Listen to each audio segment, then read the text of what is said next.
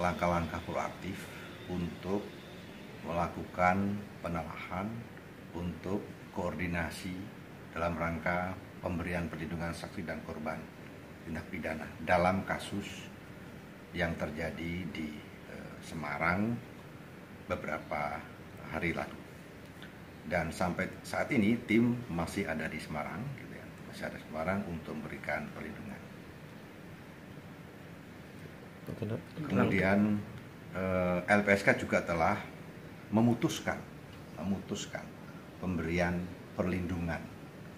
Apa bentuk-bentuk pemberian perlindungan? Pertama, kita atau LPSK berikan perlindungan pada sejumlah saksi-saksi. Saya tidak perlu menyebutkan namanya. Hmm.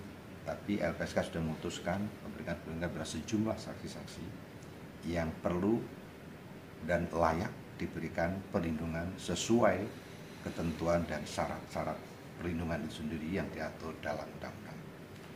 Dua, LPSK juga sudah memutuskan memberikan bantuan medis kepada korban yang saat ini dirawat atau dalam perawatan tim medis di suatu rumah sakit di Semarang.